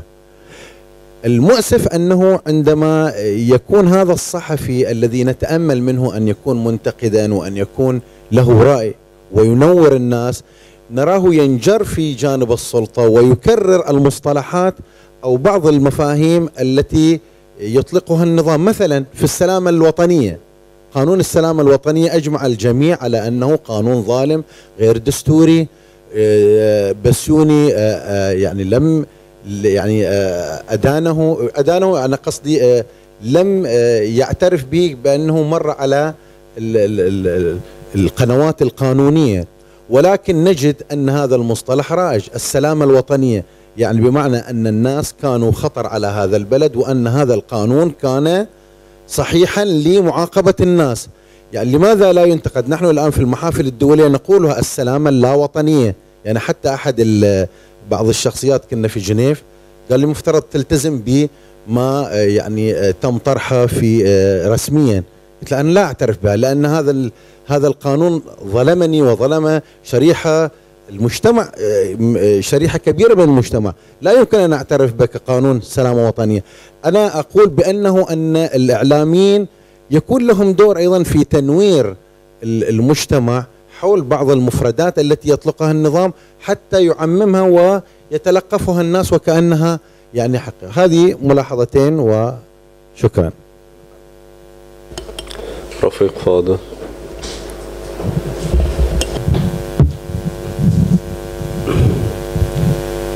الشكر موصول إلى الكاتب أريم خليفة وإلى الرفيق حسين العريبي والرفيق آه، أحمد آه، عدنان. آه، هو من عنوان الندوة يعني هو مواصلة إلى ما بدأه تقريبا المنبر التقدمي منذ بداية شهر أوغست ندوة الكاتب والصحفي غسان الشهابي. نستمر في هذا الموضوع لأهميته نظرا إلى ما مرت بها بلدنا خلال السنوات الماضية الخمس والنيف. من انشطار وانقسام مجتمعي لا مثيل له يعني في السنوات التي مضت لا مثيل له في تاريخ البحرين. ويشكل يعني حالة خطيرة جدا وإلى لا زالت تداعياته مستمرة. من هنا إحنا مستمرين؟ لهذا نقول الصحافة تلعب دور كبير في مسألة الوحدة الوطنية. والصحافة أو بالأحرى لما يقول يقال عن الصحافة السلطة الرابعة لما تقوم به من دور مهم في المجتمع. لهذا نرى هناك فرق ما بين الصحفيين الذين عززوا الوحدة الوطنية رفعوا شعارات الوحدة الوطنية أبان أحداث عام 1953 في محرم عندما حدثت الفتنة. وعلى أثرها فيما بعد تشكلت هيئة الاتحاد الوطني في 13 أوغست عام 1954 وبعدين نعرف ما صار من العدوان الثلاثي على مصر تم ضرب الهيئة في عام 1956 لكن الصحفيين في ذيك الفترة كان دورهم دور وطني دور مهم في بث الروح الوطنية وبث ضد المستعمر البريطاني وتعزيز الروح الوحدة الوطنية لهذا توحد شعبنا. الآن لما نجي نقارن ما بين فترة أحداث اللي هي الخمسينات وما جرت في أحداث 2011 نرى الصحفيين والإعلام لعبوا دور جدا سيء في شق شعبنا في مزيد من بث خطاب الكراهية والأحقاد والبغيضة في المجتمع. وإلى هذه اللحظة هناك من الصحفيين يستمرون في هذه اللعبة القذرة التي تشق وتمزق شعب البحرين. لا يهمهم وحدة وشعب البحر وحدة الشعب البحرين بقدر ما يهمهم مصالحهم. هؤلاء يخافون على المكاسب والمزايا التي حصلوا عليها خلال السنوات الماضية. وحدة الشعب البحرين بما معناه لا تليق لمثل هؤلاء لأن هؤلاء يكرسون خطاب مثل ما ذكرت سلفا الكراهية والحقد في المجتمع. من هنا نقول الصحفيين عليهم دور مهم في إنجاز الوحدة الوطنية. مثل ما هو اليوم وسائل التواصل الاجتماعي تلعب دور فعال في إنجاز هذه الوحدة الوطنية ولكن مع الأسف الشديد المكنة الإعلامية يعني في المجتمع وأنا أقولها بشكل صريح ليس فقط الشعبية حتى الرسمية لا زالت تلعب دور غير جيد. يعني بما معناه دور سلبي وليس إيجابي. يعني يتطلب من مجلس النواب أن يتخذ قرار والآن اليوم الانعقاد الأول للدور الثالث الانعقاد الثالث عليه أن يصدر قانون يجرم التمييز. لأن هذا القانون راح بالفعل يكون له دور فعال في المجتمع. قانون رسمي يجرم التمييز في البحرين. وهذا مهم حتى يستطيعون الناس يعني يعملون بأمان وسلام كما لا لا يحدث اتجاههم يعني مثل ما نقول بما معناه لا يساءلون خاصة الناس اللي يعبرون عن مو- مواقف ومشاعر وطنية من أجل تعزيز الوحدة الوطنية ومن يسيء إلى النسيج الوطني بالفعل يجب تقديمهم إلى المسائل القانونية لينالوا عقابهم لأن هؤلاء يشقون الصف الوطني. وشكرا. رفيق عبد علي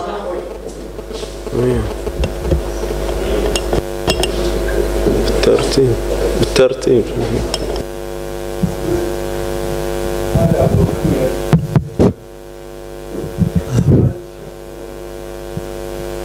يعني على ما أنا بنظري شفت سجلت الأسماء وأمشي بالترتيب.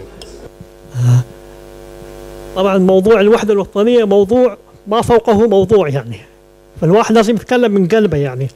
مو بس كترف ولا مضيعة للوقت يعني. أنا كنت أتمنى يعني أن يكون الرأي, الرأي والرأي الآخر موجودين على المنصة يعني. عشان إحنا بعد نثبت يعني للرأي الآخرين أن إحنا نسمع صوتين مؤيدين لنا يعني. هذا يعطي شوي مصداقية أكثر. النقطة الثانية موضوع الندوة يعني العنوان الإعلام وتأثيره في مسيرة ال- الوحدة الوطنية. إحنا عندنا عندنا الإعلام الرسمي. المفروض كان يصير تحديد يعني أي إعلام نقصد. الإعلام الرسمي ما يدعو للوحدة الوطنية. الإعلام الطائفي ما ما يدعو للوحدة الوطنية. الإعلام الفضائي اللي هم التواصل الاجتماعي ما يدعو للوحدة الوطنية. فأنت عندك الإعلام الوطني الحقيقي المتمثل في وين؟ في نشرتين كانوا موجودين. المنبر ووعد. حاليا عندهم المنبر. زين. لازم يصير تركيز بهالدقة. أما بقايا الإعلام كلها اعلام طائفي وهي مو مقصه في حق الإعلام الإعلام الطائفي سواء كان الشيعي أو السني. هاي موجود في كل العالم. في إعلام أقليات إعلام طائفي طوائف إعلام ديانات إعلام سمى اللي بتسميه أوكي؟ أنا سؤالي سؤالي يعني اللي أبغى أسأله. هل إحنا بس نجي مثلا هنا ونقول بس إن الإعلام الرسمي يمارس يمارس مثلا تفرقه مثلا. يعني حتى إحنا الإعلام الموجود اللي عندنا يمارس بعد. خلينا ناخذ جريده الوسط وناخذ جريده الوطن. يا عين يا ليل يا عين يا ليل يوميا. هذا يتحكى باسم الوطنية ويتهجم بالطائفية يدعو للوطنية وهذا نفس العملية. تراشق صاير. هذا الشيء لازم أن يجب أن يتوقف. أنا قبل ما أطالب السلطة خليني أطالب روحي بعد. هل إحنا قد هالمسؤولية أم لا؟ مع الأسف يعني شباب يعني مرا يعني كتاب أنا اسميهم كتاب دليل يعني. صغار في السن لا يعون ماذا يعملون. ما هنا شغلتنا بس يرد على الصحفي اللي كتب. هذا يكتب وهذا يريد يكتب عليه يوم ثاني. فهني قاعد يصير له تفكير جمعي. فكر يعني للطائفة الشيعية وفكر للطائفة السنية.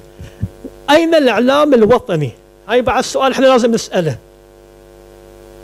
هل الإعلام الوطني قادر انه يوصل للشرائح الكبيرة للشباب اللي تكلم عنه الأخ علاء مثلا سواء في نشراتهم مثلا أو مثلا في التواصل الاجتماعي في التويتر وغيره مثلا؟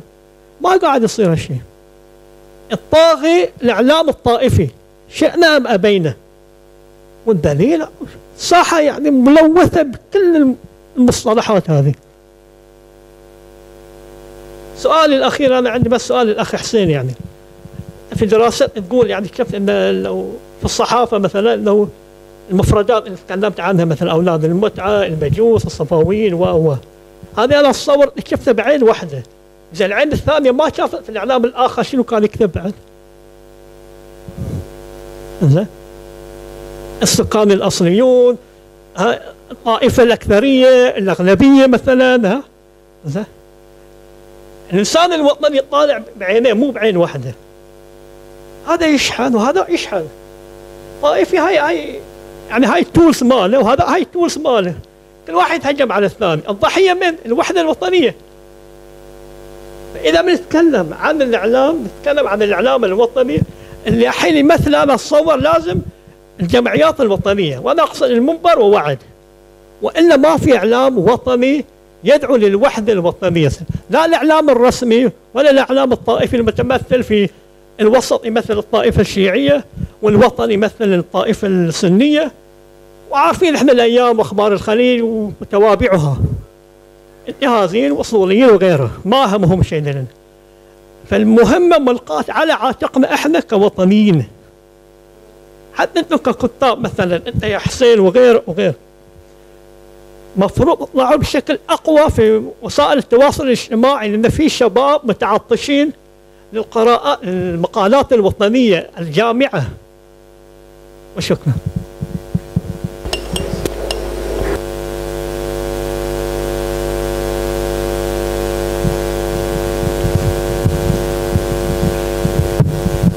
آه، طبعا نشكر آه، آه، الأستاذة آه، ريم والأستاذ حسين. وطبعا هم ما بكون أنا أكون يعني ريبيتيشن حق الأمور اللي, اللي سمعناها لكن نبقى أمام نقطة واحدة أو نقطتين بالأحرى.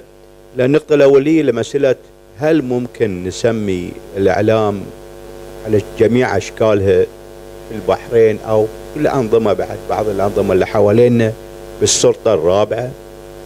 يعني بمعنى السلطة التي تستطيع أن تحدث تغيير في المجتمع؟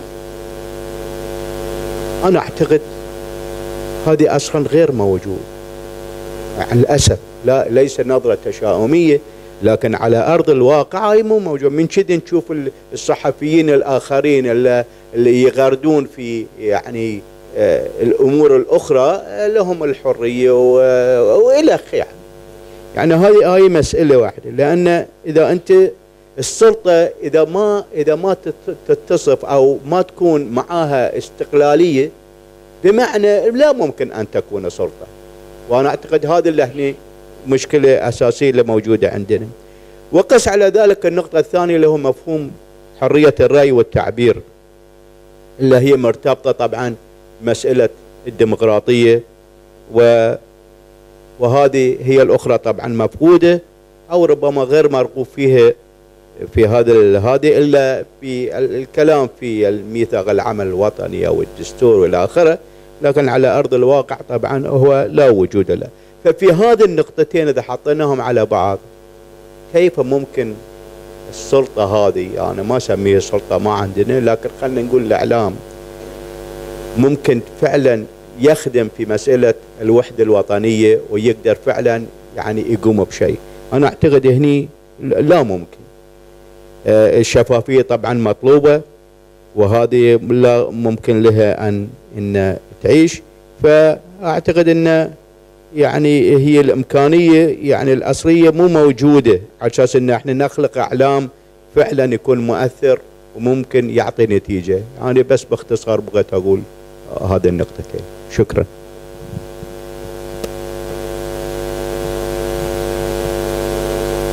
أشكركم على هالندوة الطيبة وعلى العنوان القوة الوطنية. الكل لازم يعرف أنا ما بطول لكن الكل يعرف القوة الوطنية. أول شيء إذا كان في أي كاتب يكتب ضد القوة الوطنية لازم ما نجامله. لازم نصخه في وجهه. على أساس يتأدب غيره لأن لازم إحنا ما نجامل الأوادم اللي نشوفهم ينافقون. تعطيه direct في وجهه وت- وت- وتخلي الجماعة كلهم يعرفون إن ذا الشخص منافق. لا تجامله في وجهه تقول له اي والله اي عاد تقول له أنت كتبت هالشكل ضد الحركة الوطنية. إحنا كلنا شعب واحد وما نجيب نقول شعب ذي وشعب ذي هذه ما نجيب السالفه كلنا إحنا أوادم وطنيين. خل خل خل العدو يحتار فيك. فهذا اللي أنا حاب أقوله لازم إحنا نتكاتف بعضنا بعض. وما نجيب إن فلان وفلتان وفلتان. قد ما نقدر إن هذا العنوان كم يسوى الليل انطرح. لازم يربط يربط كل الشعب البحريني والكل يعرف الأشياء اللي انطرحت. وأشكركم أنتم على الكلام اللي قلتوه. شكرا.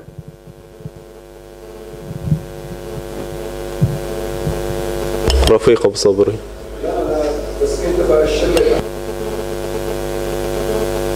آخر واحد أنا طبعا ما كنت أبي أتكلم بس آه، بصراحة آه، آه، كلمة الأخت ريم نقلتني إلى عام 1998 عندما حضرت مؤتمر الطوارئ في دبي فجرى طرح سؤال لمناظرة هل الإعلام يمكن أن يكون خطر على الأمن الاجتماعي؟ لأن إحنا نتكلم الآن الأخت ريم أشارت لمكانة الإعلام في إدارة المجتمع. آه، وكانت المناظرة بين آه، ممثل السي إن إن السي إن إن أيامها العجوز هذا اللي توفى آه، المعروف ووكالة الأنباء الألمانية. ففي المناظرة كان ال- ال- الممثل السي إن إن يدافع عن موقفه انه لا يمكن أن يكون للإعلام خطر على الامن الاجتماعي وقتها أنا طلبت الكلمة وقلت له يا أستاذ أنت من الناس الذين شكلوا خطرا على الأمن الاجتماعي. قال لي كيف؟ قلت له أنت مو بثيت خبر عن تشرنوبل وقتها إن الناس تموت في الشوارع وبث وبثيت تقرير متكامل عن أيام الحرب العالمية الأولى الثانية والناس ما قادرين ينقلون حتى الإسعافات ما كانت تستطيع أن تنقل. فالأثناء أنت تركت أثر لأن إحنا كنا محاطين ما نقدر نتكلم مع أهالينا وكنا نحاول نتواصل معاهم. أنت ال- ال- ال- العمل اللي عملته تسببت في موت بعض الأمهات نتيجة لخوفهم على أبنائهم. اذا هنا إحنا نتكلم عن المسؤولية في صناعة الكلمة وفي إدارة الكلمة وحكمة الكلمة في الإعلام. مهما تكون يعني أنا ما أريد أخصص هذا الطرف أو ذاك ولكن أعتقد نحن في مرحلة كلنا مسؤولون في في في صناعة الكلمة في صياغة الكلمة في توجيه الكلمة في إدارتها لأن هذه الكلمة تصنع أساسا أثرها على الفكر الاجتماعي. والفكر الاجتماعي هو صيرورة ال- الوحدة الوح- الوحدة الوطنية. إذا لا نتمكن أن نتعامل مع صياغة الكلمة بالطريقة العاقلة والح- والحكيمة لا يمكن لنا أن نحقق أي أي اتجاه لبناء الوحدة الوطنية. هذا ما أردت اشير عليه. شكرا. نتر...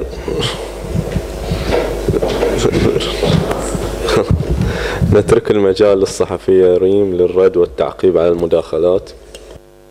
أولا أريد آه، أن أشكر الحضور على تعليقاتهم وعلى مداخلاتهم بس كان في شغلة بس آه، أريد أن أوضح للشخص اللي قاعد هناك بالنسبة لصحيفة الوسط.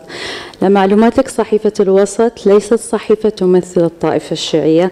صحيفة الوسط هي صحيفة مستقلة وطنية بمستثمرين من جميع الطوائف في البحرين. عرب وغير عرب. هي يعني لمعلوماتك. فلا أقبل أنك تصنف الصحيفة. تصنفها على أنها تأخذ الرأي الآخر لفئة. صوتها غير مسموع في المجتمع. okay. Voiceless newspaper. That's fine with me. Okay. يعني هذا موجود حتى في أي بلد في العالم. ال Hispanic اليهود أني الأقليات في العالم الأيزيديين حاليا كلهم يكون لهم voiceless الوسط إذا تكلمت عن فئة لا يعني أنها تحمل صبغة هذه الفئة. هي صحيفة وطنية ولا أقبل هذا الكلام خاصة على منصة المنبر التقدمي. okay؟ خصوصا أن من رجالات هذا المنبر وجبهة التحرير الوطني خالي. فكنت أتمنى لا أسمع هذا الكلام. هاي أول شيء. ثاني شيء بس أنا أتقبل هذا بس ولا أريد يعني أن يكون أن تصف الصحيفة بأنها بمواصفات. هذا يعني أنت لما تشتم الصحيفة وتشتم فئة شريحة كبيرة من المجتمع إذا أنت أنت بعد ما تعترف بهذا المجتمع أو بهذه الفئة. وهذا أيضا لغة طائفية. وعنصرية تحاسب وتجرم عليها. وهنا أنا اللي كنت أتكلم عليه. أنا سمعت كل الكلام من الفئات العمرية هنا من عمر جدي إلى عمر أبوي إلى عمر أمي وصولا إلى لأصغر مني. أنا أريد أن أقول شغلة إحنا ما ممكن أن نصل إلى حل حقيقي وإلى موضوع الوحدة الوطنية إذا قعدنا بس. أنت قلت في تراشق إعلامي إحنا لا نتراشق مع أحد بالعكس. الصحف التي أنت تكلمت تكلمت عنها هي التي ما تتراشق أوكي؟ هي التي تشتم وتقذف كما هي وسائل الإعلام أوكي؟ هذه أول شغلة. والتراشق والقذف في مجتمعنا للأسف هو نتيجة نجاح قوى داخل المجتمع على تحطيم هذا المجتمع. والنتيجة أنت. عفوا يعني بس أنت النتيجة. إن طلعت إفرازات تتكلم بهذه اللغة. من أين؟ من نضال تاريخ لجبهة التحرير الوطني. حضرت ندوات كثيرة للمجتمع المدني هنا وتكلمنا في كثير من المواضيع. لم أسمع يوما أحد يتكلم بهذه اللغة. okay؟ فإذا أنت ما تعجبك صحيفة okay هذا رأيك. لكن تنعت هذه الصحيفة بمسميات لا أقبلها. لا أقبلها إطلاقا كما لا أقبل أن ينعت المنبر بمسميات لأن هذا المكان له تاريخ. وبما أنك تصف أنك جزء من هذا المكون الذي يدعو إلى الوحدة الوطنية إذا لا عليك أن تقصي طرف دون طرف. تاريخ جبهة التحرير الوطني البحرانية هنا في البحرين وفي المنبر التقدمي جمع الناس. وهذا المسمى لم يكن منبر تقدمي كان جبهة التحرير الوطني البحرانية. وسيبقى جبهة التحرير الوطني البحرانية يضم جميع أبناء البحرين. سنة شيعة زرشتية بهائية هنود بنيان whatever okay؟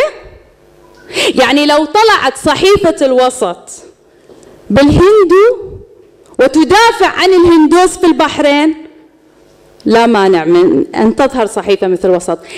أنا لا أريد أن أتكلم بس عن الوسط. الشغل الشغلة الأخرى اللي أريد أن أنوه إليها. ليش إحنا ما عندنا كلام عن الوحدة الوطنية؟ أنتم شايفين المشهد. خمس سنوات إحنا قاعدين. كل واحد سوي له ندوة. كل واحد سوي له ندوة ويتكلم. أنا جيت الندوة مالتي منشورة اليوم أساسا. وكان هناك طرح وكنت أريد أن أرى اجس نبض الشارع عندنا. أنا صار لي فترة لا أكتب في الخ... في الجانب المحلي لأني أشعر بمغص شديد إذا حق يعني يحق لي أن أصف هذا الوضع. بالمغص الشديد. المغص الشديد ليس من الدولة. المغص الشديد من المجتمع نفسه. المجتمع نفسه لا يتآزر مع المجتمع الآخر أو مع الطرف الآخر الذي أنت وصفته. ليش أنا ما أشوف اليوم في البحرين خطاب تسامحي تعددي؟ تريد إعلام حر تريد صحيفة حرة. أنت تتكلم أنت تتكلم الآن. تقول لي تناقش هني عن مسؤول ولا آخرة. وين؟ إحنا إذا نبي إعلام حر حقيقي ما يقول أنت وأنا. أنت رجعت وقلت هذه الكلمة أنت وأنا. رجعنا إلى المربع الأول. إحنا المفروض في البحرين نترفع عن هذه المواضيع. إحنا تربينا في بيئات لا تتكلم أنا وأنت. نتشارك الأفراح نتشارك الأحزان. مو شي شكلي. أنا إذا أبي أتكلم عن هذا الإعلام زميلي حسين تكلم عن التاريخ والمراحل اللي مرينا فيها في البحرين. ليش إحنا ما قاعدين نخرج من من عنق الزجاجة؟ لأن لأن للأسف ما قاعدين نتقبل بعضنا البعض. نسمع لبعضنا البعض. نحترم بعضنا البعض. إحنا الاحترام مو موجود عندنا. كل واحد يقول أنت إيه هذا ولد ما أدري شنو هذا ولد. يعني في مس... يعني مثل مشكلة الآن الأمريكان السود. يعني ممكن واحد يقول كلمة نقر. هاي ممنوعة هاي جريمة هاي تمييز. إح أنا ما بقول المصطلحات اللي إحنا نقولها هنا في البحرين واللي زادت في الفترة لأن أنا أترفع عن ذلك ولا أريد. وانصدمت جدا أني أسمع مثل هذا الكلام من هذا المكان. واسمحوا لي يعني أنه أنا قلت هذا الكلام لأن أنا أتوقع من القوى الوطنية التي تصف نفسها بالوطنية أن تحترم كل فئات المجتمع. أن تحترم كل فئات المجتمع. ولا نصغر أحد. إذا أنت ما كان عندك مشكلة غيرك عنده مشكلة. إذا أنت مو عايش تحت حصار غيرك عايش تحت حصار. إذا غير أنت إذا أنت ما كان عندك مشكلة إنك تصافح يد مثلا شخص يشتم يوميا وتضحك أمامه ذكر الأستاذ إن إحنا أو شخص من الحضور إن أنتم تجاملون الكتاب المنافقين بالفعل. كثير من العناصر عندنا هني في البحرين وحتى يعني تجاملون أنتم وايد الكتاب المنافقين. أنا ما أحتاج اعدهم أنتم بروحكم تعرفون. هي مش مسألة إن إحنا نتكلم إن إحنا لازم مسؤولين عن الكلمة. إحنا صار لنا خمس سنوات ناس تكتب وتشتكي وتقول ولا يتحرك شيء. مثل ما هم في ناس ضحايا لقضايا كثيرة. لا أريد أن أغير موضوع الندوة. يفلتون من العقاب. هكذا. أعتقد إحنا محتاجين إلى ثقافة جديدة مجتمعية في البحرين. محتاجين إحنا ولما تقول ليش ما عندنا إعلام حر؟ أبيك أنت تحاول تفتح صحيفة أو موقع إلكتروني. أبيك تروح تفتح شوف الأشياء اللي تحتاج إليها. هذا مو موضوع سهل. بس الآن مع العالم الإلكتروني وتطور وسائل الإعلام مثل ما ذكر حسين من السهل أن أنت تقدر تخلي صوتك يطلع وتسوي. بس تتحمل مسؤولية الشيء اللي أنت تسويه. وأنا يعني عذرا على الإطالة بس كان لازم أقول وأنا شخص صريحة وما أجامل ولا أنافق. وإذا في يوم من الأيام شفت شخص كان مشهور عليه يعني مش مشهور إنه هو ينافق ويكتب ضد مصلحة البحرين. سيأتي هذا اليوم واللي أقوله في وجهه. شكرا.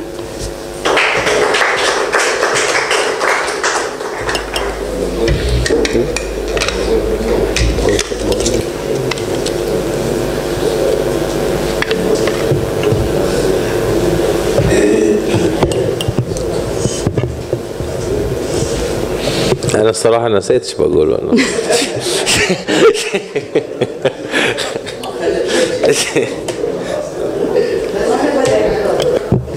آه، هو يعني على عجالة بس أنا أحب أشير إن إيه. لا تعطيها جانس ولا خلاص؟ بس الموضوع اللي طرحته رجاء ما يصير. انتهى النقاش. تفضل رفيق حسين تريد